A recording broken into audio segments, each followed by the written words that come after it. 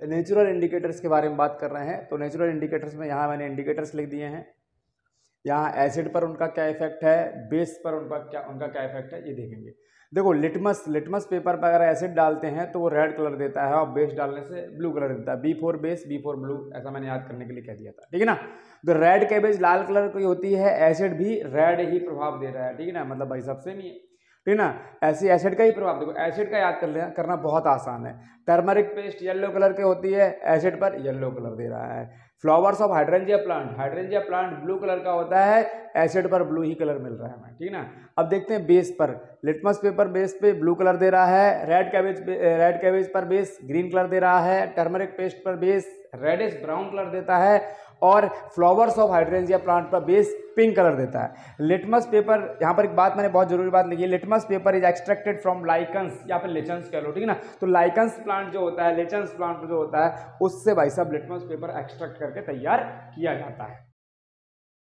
Synthetic indicators के बारे में synthetic indicators synthetic indicators synthetic indicators वो इंडिकेटर्स जो मैनमेड हैं लेबोरेटरीज में तैयार किए गए हैं। जैसे फिनॉफ्थलीन है नेचुरल उसका कलर कलरलेस होता है, एसिड डालने, एसिड जब डाला जाता है तब कलरलेस ही रहता है, बेस डालने पर वो पिंक कलर दे देता है। मिथाइल ऑरेंज के बारे में चर्चा करें तो नेचुरल कलर उसका ऑरेंज है, एसिड डालने पर वो रेड कलर देता है, रेड कलर देता है और बेस डालने पर वो येलो कलर देता है, ठीक है ना? चलो। ऑल फैक्ट्री इंडिकेटर्स क्या होते हैं? जैसे ऑल फैक्ट्री मतलब सूंघना है ना? ऑल फैक्ट्री रिसेप्टर्स वैसे हमारे नोज़ के अंदर होती है हमें पता है।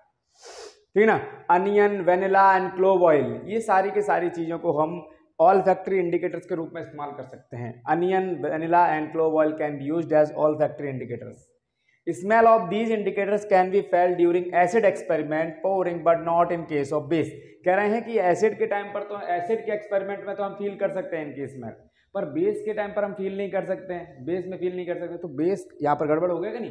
कि एसिड तो पता लगाया जा सकता है, पर बेस पता नहीं लगाया जा सकता। ये टेंशन हो जाती है। तो अब तुम कहोगे कि सर यार एसिड पता किया जा सकता है? तो जिसमें ना पता चले वो बेस हो गया।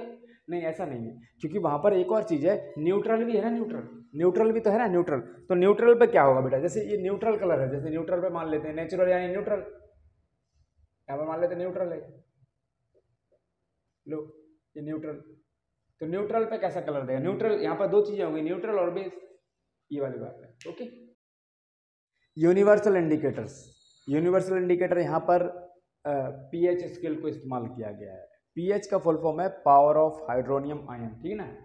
यहाँ पर बात करते हैं, मिक्स, ये मिक्सचर ऑफ़ सेवरल इंडिकेटर्स है यूनिवर्सल इंडिकेटर्स सोच different colours at different H positive ion concentration यानी जितना H positive ion concentration change होता जाएगा, ये अलग अलग अलग अलग कलर्स उन पर देता रहता है।